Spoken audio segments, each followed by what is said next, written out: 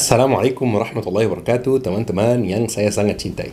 Cerita hari ini tentang anak kecil yang mengemis perhatian dari keluarganya.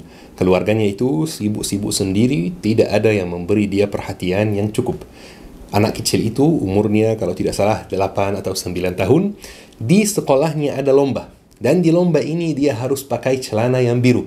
Maka dia cek di lemarinya, ternyata ada celana yang biru. Tapi celananya kepanjangan teman-teman. Perlu dipotong 5 cm. Maka dia pegang celananya dan pergi ke ibunya. Mama, tolong pendekin celana ini 5 cm karena saya ada lomba. Dia belum melanjutkan kalimatnya. Ibu, ibunya langsung marah kepada dia. Jangan sekarang. Saya lagi sibuk. Nanti-nanti aja. Jadi dia pergi minta tolong sama siapa lagi ya? Sama kakak perempuannya. Dia pegang celananya dan pergi ke kakak perempuannya. Kakak, saya ada lomba di sekolah dan saya harus pakai celana pendek. Minta tolong dipendek. Dia belum melanjutkan kalimatnya. Langsung dimarahi oleh kakaknya yang sibuk kuliah, sibuk mengerjakan ini, sibuk telepon temannya. Langsung dimarahi. Nanti aja, saya lagi sibuk sekarang. Maka anak itu karena tidak dapat perhatian dari orang, dia keluar rumah diam-diam ada penjahit dekat rumahnya, dia kirim celananya ke penjahit, langsung dipendikin 5 cm, celananya sudah oke, okay, sudah layak dipakai. Dia tidur dan celananya di lemari.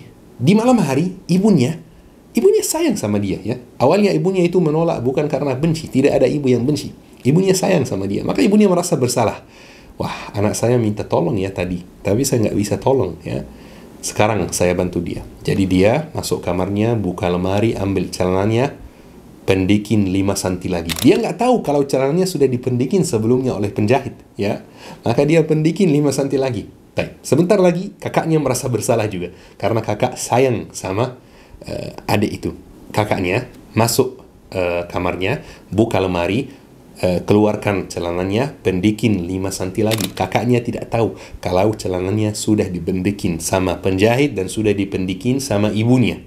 Maka di pagi hari ketika anak itu ganti baju untuk berangkat ke sekolah, dia pakai celananya ternyata sudah jadi celana pendek teman-teman. Anaknya nangis dan sedih.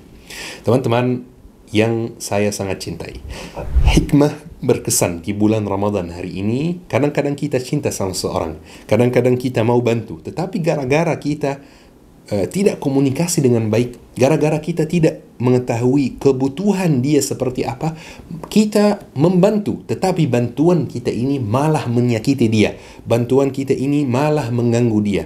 Seorang ibu yang mau membantu anaknya, tetapi bantuannya kepada anaknya itu menyakiti anaknya. Niatnya baik, tapi caranya buruk. Gara-gara komunikasinya kurang lancar teman-teman. Perbaiki komunikasi. Tidak cukup niat baik teman-teman. Barakallahu fikum. Syukran. Wassalamualaikum warahmatullahi wabarakatuh